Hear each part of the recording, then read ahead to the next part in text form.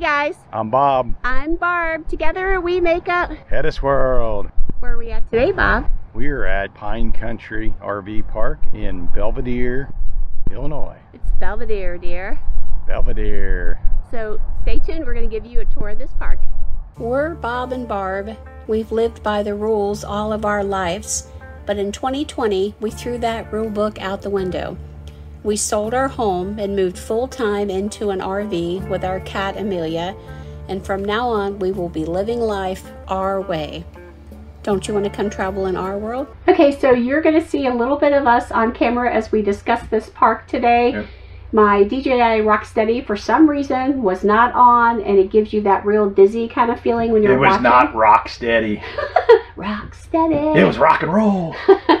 it was rocking and rolling, that is for sure. So you're going to see the park, but we're also going to talk about it. So we're going to kind of flip back and forth because we want to make sure you get a really good understanding of this park. It's a good, decent Thousand Trails park. Thousand Trails are hit or miss, and the word resort sometimes is loosely put out there. Yeah. Um, we've seen resorts that didn't have hardly anything, but this was actually a decent park. I really enjoyed this park, and we had some really great company at this park. We were there eight days. We stayed in the designated Thousand Trails section, which is a newer section up front to the right. An awesome spot to get into. There are some other spots where Thousand Trails people were situated throughout the park. The park is mostly sold, and also the area we were in was up for sale as well. Yep. So what we share with you in the video today may not be true in the future as far as open Thousand Trail spots. Yeah, we found that Thousand Trails that every spot is for sale. Yeah, So- every spot. Some parks is a lot worse than others. A lot of your bigger parks, they'll sell every spot if they can sell it. And I'm not sure what the relationship between Thousand Trails and the owners of these parks, but they're all for sale. The campground that you see here on the right is actually where we were staying, but when we get to the end of the video, we're going to go through it. Now let's take you through the rest of the park. So welcome to Thousand Trails Pine Country. They call it the family campground.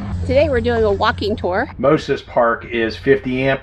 There are some 30s, and when we got there, they give us our site assignment because you know Thousand Trails, they don't give you an assignment, even though we do call ahead and we find out where we're going to be. Uh, sometimes they're on the ball and sometimes they're not. But this site they tried to give us was back in the annual section, which is fine, but the site was 30 amp and it was small, and we're big. We wouldn't have fit comfortably in there. Yeah, this park has some construction going on. The check-in process is a little bit different when you first come into the road. There's a little building right there. It's also a little tiny store. You go in and you check in, and they uh, give you your information, and you get signed in, and they go ahead and set up. This gate right here, you'll see the exit gate. Is evil. Barb hates that gate. We were riding our bicycles and that gate did knock her off her bicycle. That gate. Get a good look at the evil gate here. We came up here and we were going to ride our bicycles out and then back around. The gate went up. I was going through and it hit me in the head.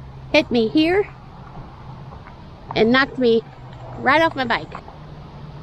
To you, bad gate. I will give Thousand Trails a thumbs up on a lot of these parks are seeing some money being spent in some of these, whether it's Yeah. just to upgrade from 30 to 50s, but you're seeing some of these spots where they're actually starting to put a little gravel in them and actually maintain the roads a little better. And this one actually had pretty good roads. Yep, The roads were blacktop until you got to like a little bridge. yep. And then after that, it was all gravel, but there was no potholes or anything. It was very dusty because we didn't have a lot of rain in that period, so it was really dusty back there. If your camper was back there, it was full of dust. Front section we were at, there wasn't a lot of traffic, even though it was dusty. There wasn't a lot of traffic flying by us. They talk about mosquitoes are bad at this park. We didn't see any mosquitoes at all, and we were here in August of 2021. But we did believe that we were in um, a poltergeist area because Yeah. of all the flies. Oh, it was it was the worst fly place I've Yeah. ever seen. Yeah. You'll on occasion, just like a house, you'll get a fly in the house and you'll be able to hunt him down and get rid of him. But No. these flies here, they were crazy. I mean, you open the door, you just leaped out of the camper straight to the ground and slammed the door because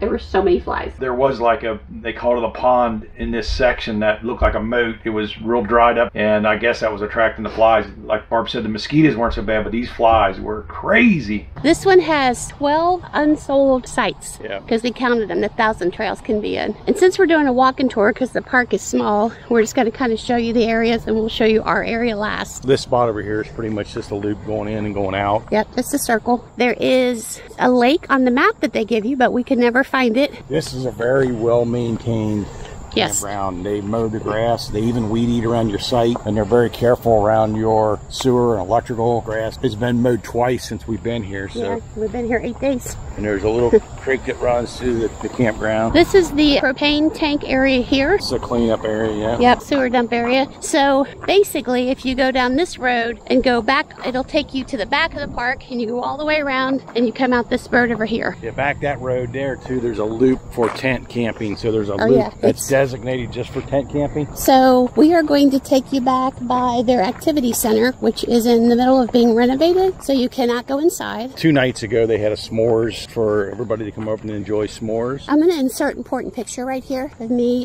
who's always trying to do keto, getting to eat a s'mores. This park sometimes is known for some of the perms having lots of people come in and it gets a little rowdy. So the police are here every Friday and Saturday. They've got the old-fashioned park lights. So this is the bathhouse, which is open. The only way to get into the pool is through the bathhouse. So I'm going to take you through there. Okay. The bathhouse is pretty clean. Smells really fresh, kind of orangey. And then Oh my god, I can't get out. They must unlock it at a certain time. They're sand volleyball. Oh, it's deflated way over there. They've got a jumpy thing, which I'm going to insert some more important footage here of seeing how much fun that is. This is a pretty nice pool. It's got nice area. It's got umbrellas, which is very important because it's hot here. And then they've got this pool, which is a little crisp. They say it's heated, but it's been so hot here It felt good. and humid, it felt good. A lot of permanents here. The back section of the park is a large loop, and then it's wadded off with side roads, just like most parks you go into. In the back section where it's mostly, mostly, mostly permanents, it's 50 and 30. Yeah. There are just a couple spots they have back there for Thousand Trails people as well. Thousand Trails sometimes will kind of keep everybody in the same spot, so when you get there, They can The- watch the ones that are Actually, on ball will actually have a layout of their property and they'll have circles on ones they where they want you to go. Sometimes we will get the bike out and go around and find our own spot because it's first come first serve. We've been dinged before because there was so-called Thousand Trails dignitaries coming in, so they took the Yeah. spot. So oh, we got people from Thousand Trails. I don't care who you got coming in. I'm a I'm a paying customer. First come, first serve. The worst is when they go, a salesman's coming in, so Yeah. he needs to have that spot. Sorry. But he's not here. And a lot of times they're like, well, we don't even know if he's really going to show. Yeah, we've watched the spot be unattended for two weeks while we're there because Yeah. they were waiting for someone to show up. They had to be in some crappy spot because of it. No, I'm taking the spot. I'm sorry. If he shows up, he can take a spot so- like any other customer. Maybe if a Thousand Trails salesperson had to take a crappy spot, then they would realize "Hmm, maybe this May- park needs some money. Maybe they would spend some money on Maybe gravel. I'll go over a couple of the amenities. Um, first, I just want to say it's got 236 sites. Some of the amenities listed are the clubhouse, the shuffleboard, fishing. We don't know where shuffleboard or fishing is. Yeah. You can't get to the lake. Uh, they do have Wi-Fi, Java communications, which we didn't use because our Verizon worked very well here. Yep, we were able to stream. I did four uploads of videos here. It was I love I can use my own internet. They do have RV storage here. It is a pet-friendly site, but you do have to keep your animals on a leash at all times. Oh, side note, you got a pet and you're walking them, and up front where we are, you'll see it's like a desert. Some people have little plants they put outside. Don't let your pet pee on the plant. Shame on you. Yeah, on, on the plants or people's electrical pedestals. Yeah, shame on you. Puppy to a grassy area and let them do their Yeah, business. you just have to go a little bit farther to get to the grass. Poor neighbor's plant. nature hiking trails. There are some of those. Coming up here on the right, they do have uh, restrooms and shower facilities, and they seem to be very clean. They do have cottage rentals here. They did some renovations in 2019. That's when they built the area up front. And then the renovations to the activity center now, which I don't know what that involves. This section right over here is actually where we'll, we're staying. We'll take you through that section and let you know how many that are open for Thousand Trails. What, a couple years old? Three, like yeah, three years old. Good. And if they try to tell you 30 amp in the back and this has got openings, say no. I want to Yeah. be in 50 amp full hookups out front. So this is the creek, I guess they call it, that runs from the bridge. And then here's the only lake uh, we can find. Trail that goes back here, but it just dead ends. Yeah, that's the trail. It doesn't go anywhere. So this is the first park where we have made like three friends right off the bat. The first one is right here. This is Mike and Lucy's camper right here. So Mike and Lucy are here. He is an amazing chef. So Mike and Lucy were probably one of the most interesting couples we have ever met in a park so far. Lucy is just a beautiful, full of life living woman, you know, just how it is straight out. And I love that about her. I felt an immediate comfort being with her and, and having her be one of my friends on the road, a permanent real friend on the road. As soon as we pulled into our spot here, we passed their camper, which they were on our left. They had paid for an annual spot there, and they were trying to get an annual spot in the back where it was more wooded. Like this, this front section was pretty much you were out the sun. Yeah. As soon as I pulled in, Mike watched us as we went by. You know, the big rig pulling in, and he come over and just started talking to me like we were best friends He's just a great guy. which was super cool. And then he invited us over to have a drink or two. And then we, when we got over there, we started talking about food and Texas food. Our favorite things. Yep. And so he cooked for us. Started up his grill. He threw some corn on and cooked some amazing food for us, Yep. Which was incredible. And he wanted to share that with us. and it was so interesting spending time with them and getting to know them. It's a couple that we hope to run into again sometime Yeah. down the road. I know they're permanents in Illinois right now, but when we come back through, we would actually stay at this park again just so we could spend a few more days with them. This is the Riverstone that is next to us. This is Gary and Carol, Yep. and they are super nice. They're getting ready to go to the frog rally Yep. next week. So now let's talk a little bit about Gary and Carol. Gary and Carol were super fun couple. One, they're Riverstoners, you That's know. right. We had something in common with them right away, which Riverstoners or Riverstone owners, we call them Riverstoners, but they they're far and few few between because you don't that see as many. Yeah. I mean, And- we've been in some parks where we found, like in uh, Florida, where we found bunches of them, but in most parks, you're lucky if you find another Well, stoner. you might find it, but then there might they're usually not there. It's like you go and you look and you go, okay, nobody's home. So to have one actually pull in and pull right next to us, we were like, That's super cool. you know. And Yeah. of course, they, they were a different color, which we prefer. Stop buying Blue Thunder. Yep. yeah, their model was a little different from us. I think Yeah. the rear bedroom with the the real nice bath and all that. And we went in their trailer one night walking around. Yeah, we had fun exploring each other's campers and and talking and they're just a really super smart couple and just fun and full of knowledge and I'm so grateful that I met them. That's another couple that we definitely want to try to run into again on the road. Yeah, and they were in the process of setting up a, a heavy duty truck. So a big, you know, I, I couldn't remember if it was a Volvo or a Freightliner, but they had one already purchased and they were setting it Yeah. up to pull their Riverstone. And of course it was going to be red. It was going to match their camper. Yep. That's all about us, what we do. this is the super cool Hettesh World with that amazing stuff on it. There's Fawn. She's a good friend. We met her at the last place. That's their camper. And her husband is Bill behind the wheel. There's Bill. So everyone's on camera now. And there is the world's cutest golf cart. Talk about me. Yeah. My golf cart. yeah. So now, Fawn and Bill. Hey, Fawn. Hey. Hey, Bill. We met them when we were staying in Wisconsin. Yep. and they were our neighbors and then we were lucky enough to have them be our neighbors again in the illinois park and fawn and bill are part-timers Yep. they still have their home but they also have their camper and they're out on the road I think they want a full time eventually, yeah but they're well waiting for their- maybe she's got like an incredible hot tub that god's used so i don't know she might not give that up Yeah, she they, they talked about their house and how gorgeous it was and how they had it set up. So we're not sure if they're going to full time or not, but I think they travel three four months out of the year. Yeah, Fawn is a beautiful soul inside and out. Um, I just love her. I connected with her right away in Wisconsin. She is someone who's so sweet and is always there for you and anything you think that you need, she's there. And then Bill is, I love Bill. He just cracks us up. Now, in the scene you saw, we talked about their little golf cart where we, he thought we were talking about him and he's cute. I will agree. But the golf cart is the cutest little golf cart I've ever seen in the entire world. Yeah, they tow it behind their fifth wheel. Yeah, on, attached on it as you saw in the Yeah, it's got a little it- on a little platform. It's probably one of the tiniest golf carts I've ever seen. Yeah, and they're cute on it. They're super cute on it. But then when they put us on it on the back the one time, I We're felt riding wheelies. I felt really large. I felt I felt like one I was gonna break it, and um, At a community center, and they were having outdoor s'mores cooking Yeah. and stuff. I was full of I was full of marshmallows. Yeah, which Barb partaked in, and uh, they rode us back on the golf cart, and we felt like monsters on the Yeah. back of it because we were like almost pulling Yeah. wheelies going up They the look hills. so cute and perfect, like perfect little dolls in the front, and we're like, "Mm." we're like big monsters on the back riding a wheelie. we had the best time with them. We hung out with them. We were outside with them. We had fire with them. It was just Yep. great. And their and their grandson is amazing. He's just a wonderful young man. So in our journeys, we have met incredible people on the road. We've met a lot of people on the road. Yeah, but the incredible ones make it into my phone. And in my phone, I have a listing that either says Can Am or it says RVer.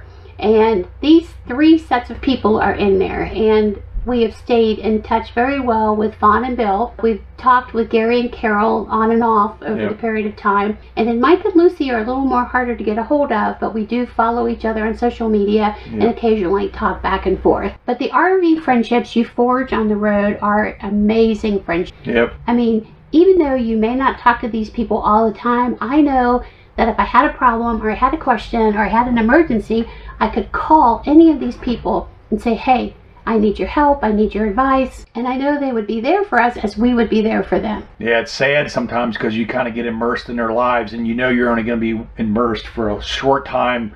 It's so neat because you get to learn about their lifestyle and their kids and their grandkids and all that stuff that comes with it. Yeah. So The people that you meet are important because in today's world with so much negativity and so much horrible news and all this stuff going on, it's so nice to get out and actually meet real human beings. yeah, to find out a lot of what they say out there is not always true. we find ourselves turning off the 24 hour news cycle more and more Yeah. because it's all negative in your face and we know those aren't the type of people that we run into on the road No, and we've met people from all kinds of cultures and all kinds of ways of life, and it's been the most enjoyable experience about what we've been doing so far is the people that we've met. This park is one of the few parks that we've found that actually has real walking trails for people to walk on. yep That's the entrance there that I'm showing, but when you get back there, it splits off into different areas. And of course, Hettesh World can get lost on any trail, big or small. It's pretty incredible. So if you're staying at this park, we definitely recommend that you walk on the walking trails. uh, trails that aren't marked real well and like barb said Hettesh world can get lost anywhere on trails so a lot of times i rely on good old google map it knows where i left so i can always find my way back even though it's not the same path we took getting there I'm still waiting for a subscriber to tell me how to trail better. Let's show you this because this is incredible. It actually has a handicap area that's all paved Yep. for wheelchairs. Oh, yeah. So really cool. They built it probably to ADA compliant, I'm Yep. sure. So some thousand trails tell you they can't do this kind of stuff, but this one can. They are working on putting washers and dryers up here. Man, it smells super clean, doesn't it? yeah And then let me show you the. All right, so one, it smells new. And then bye buddy there's showers. I mean, look at that. And everything's clean because nobody uses it, but there's four of them in here. And it's air conditioned. It feels good. Yeah, it's even air conditioned. I mean, it's just incredible. Super incredible. There are 16 sites in here that, Pull through sites are huge. Yeah. And these back end sites, yeah, at first they wanted to send us back there, then they wanted to put us like over here. And we said, why can't we just be here? And they said, well, we're sending it for big rigs. I'm like, um, we're about as big as I told get. you we have the big rig, so. So, Bob, would you stay at this park again? I would definitely stay at this park again. I mean, um, it's nice to find thousand trails that you're actually willing to want to mark on your little you know cheat sheet that I will stay at this park again because right now it's just well maintained. Just because they got spots designated for thousand trails members, but just because they keep it so well maintained. You have And to it- remember everything's for sale, so we'll have to see what happens when we come back. Yeah, it's just got all the amenities. You either use them or you don't, but it's it's got the amenities you want. Amenities are all well kept. You know, if you wanted to use the showers or, or use the pool, it, it's all well kept. I mean, that's all we ask for in uh, Yeah. Thousand Trails. Yeah, you can drive on the roads here and not get beat up. I mean, the worst thing you hear is you get dusted, and that's not the park's fault. It's just because it won't rain. Yeah. I mean, it's definitely a yes for me. Also, up here in this area, it's super quiet. You know, you've Yeah. got everybody coming in. They might be working on their rig. They might be doing whatever. They might be traveling. It's just quiet and it's nice. I mean, out there in the park, it gets a little gets a little rowdy sometimes. So, but it is a yes and a thumbs up for me. Yeah, Gary and Carol, that's right behind us. Us Riverstoners. Um, they, Hi, Gary. like I said, they're going to the uh, Frog Rally. So Gary and Carol's been waxing their camper up. So we hope that you like this video. We are trying to give you more details on all the parks we're staying, especially the Thousand Trails. And so please give us a thumbs up. Please subscribe because we want you to be on travels with us. Please give us the comments. We would like to know what your favorite thousand trails are. Yes, please. Please uh, click the notification bell because you need to get notified. Notified. And remember, we're Hettesh World. Come travel in our world. Hi.